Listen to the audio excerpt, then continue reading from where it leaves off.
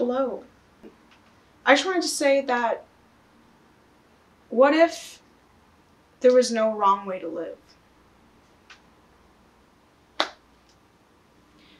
What if how we're living right now or how we are existing right now is going to create that space in the future for your future self to manifest? As in, like, what if right now you're doing everything right?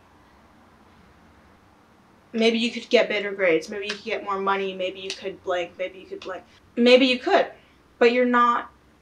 What if you are experiencing what you need to experience right now in these places where you might not feel comfortable? What if you're here for your future self? What if you feel pain and grief for a reason that is bigger than ourselves? I think that I hold my universe inside of me, as in, I know myself and I've lived in my my body for how long and the universe how I see the world is my only reality how you see the world is your own reality but our realities will never be the same. If we trust the universe maybe we're trusting ourselves. And i think i'm just coming into this this place where i am trusting myself more and more every day. And trusting myself does not mean reacting to my external within five seconds. I think trusting myself is breathing and staying calm and knowing that i cannot control the world outside of me but i trust myself enough that whatever comes my way, I will be able to deal with that in the way that serves me and where my heart is at. So I'm not putting any pressure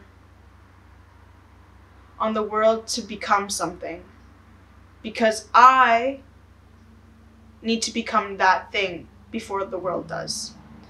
And that thing needs to manifest in different ways. I'm getting pretty spiritual here. I'm usually I'm not religious. I'm not I don't carry a specific uh, identity that relates to one specific god, but I do believe that the self is the most powerful entity or being in our lives. Um, only you know what you need and want, and you know how to get it for yourself.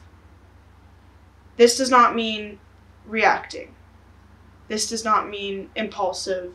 This does not mean short little bursts of dopamine. Something that talks to our soul, I think, is going to be daily in our long term. Something that we need to do for our soul is going to pay off in the long run because we're staying true to ourselves. And I think staying true to yourself is trusting yourself. Maybe you can get uncomfortable and put yourself into new situations because you trust yourself. And trusting yourself has got your back through thick and thin. If you can talk to yourself and know what you need and sit with yourself in silence and feel the change happening, that is very powerful. And I think that allows for that future self to manifest and create and be and become. And you know the quote no one knows you better than yourself or trust yourself trust your instincts. I think that is true but i think it's deeper than that. I think once you connect to yourself and ask why you feel this way or why you think this way or what is happening when you put energy or attention or focus on a specific part of your life, what do you need in that moment? Like, what are you searching for that's not just that thing? What does that thing symbolize? I think we attach to images or ideas or representations of something that we need for our emotions or our soul It just depends where we're looking. And I think looking, for example, for love in specific ways can take you closer to yourself or further from yourself. You know deep down what intentions you have that are centered around you versus what intentions you have that are centered around other people. As in, are you doing this for you or are you doing this for other people? And what does that look like? How do you know that you are doing this for yourself? And are you doing it for yourself? Asking that frequently could create these these pockets of how do I want to change and how do I not want to change? What do I want to keep doing? And what do I want to grow away from? We can never revisit something, someone, some activity the same person. Once you repeat something, you are going to improve that.